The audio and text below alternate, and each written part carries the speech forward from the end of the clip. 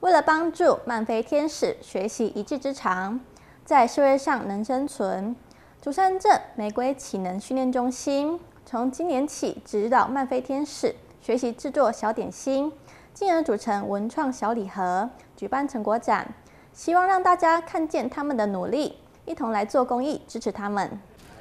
在大家的陪同下，漫飞天使一起将烘焙好冷却的小饼干包装成可爱的模样，准备装成小礼盒来进行贩卖。这是竹山镇的玫瑰情人训练中心，从今年开始指导漫飞天使学习制作小点心，甚至来组成文创小礼盒，并举办成果展。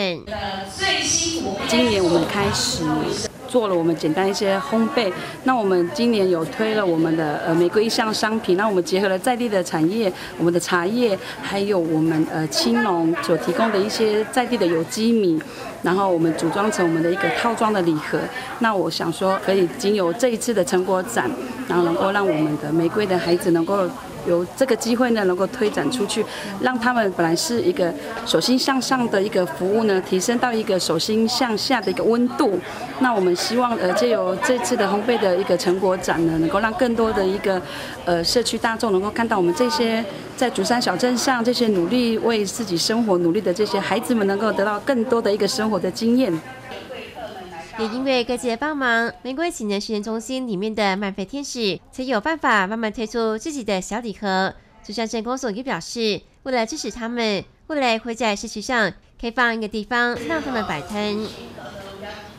小孩子不是只有家养他而已，事实上要教他能够以后能够独立才是最重要的一个方向。那你看看啊，在我的后方里面的话啊，就可以看到很多他们自己啊有老师啊协助啊做出来的很多东西，包括地方的产业的筷子啦啊，或者汤匙啦，或者是一些米食类的东西啊，都可以看得到。那这是都是在地的一些青农共同来协助，不只只有公所出力，我们在地的青农也都看到这个区块，让这些弱势团。体啊，我们的漫威天使们都能够独立的站起来，才会才是我们最重要要做的工作。大家一起加油，他们可以站得很好。这个区块以后可以到我们的中山市场那边可以看得到。我希望说有他们的一个园地，让我们一个专卖区，让他们的野产品能够让大家看得到。大家一起加油哦，谢谢。